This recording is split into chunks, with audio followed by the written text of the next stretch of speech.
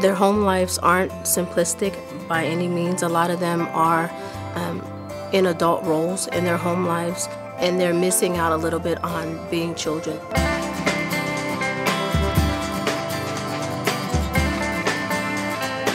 It's not just changing the life of one student or 160 students. What Cristo Rey Jesuit is all about is to change Houston.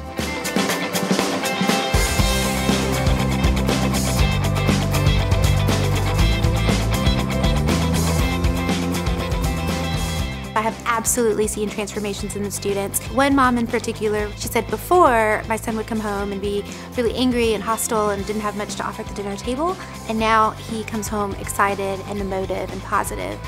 For a lot of these kids, just being in a college preparatory high school is a miracle. What we're telling them they're capable of doing and what they're trying to believe that they're capable of doing is something that they've never really witnessed before. In my family, the whole family, I would be the second person to graduate from high school. And the biggest transformation that I've seen is that kids have started to believe and see that I can do this.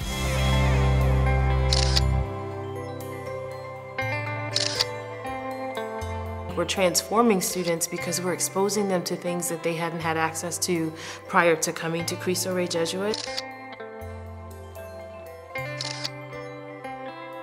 You begin to see, I think, more than anything, um, a level of self-confidence in the student, and that begins from the moment they step in and they're asked to stand up straight and shake your hand.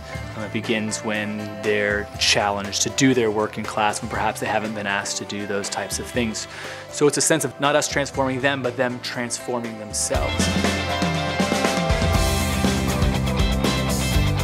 The idea of 14-year-olds working in the workplace is absolutely a little startling, but they've done great work and they learn something, I think, every week they're here. Their posture is so much better. They know how to answer a phone in a workplace. They know to extend their hand and greet someone. They've blossomed. It's just really incredible. Participating in a program like Cristo Rey Jesuits program reinforces our values as an organization, contributes to the community, and is exactly the sort of win-win that strong, sustainable, values-driven businesses seek.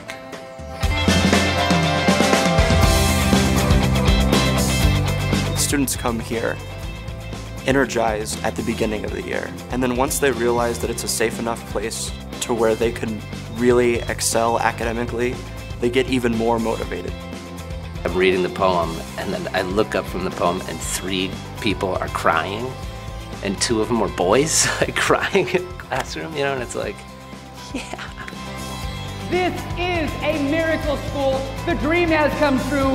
The children who are all of our children tonight are our future. This program saves lives. This program saves families. This program saves Houston.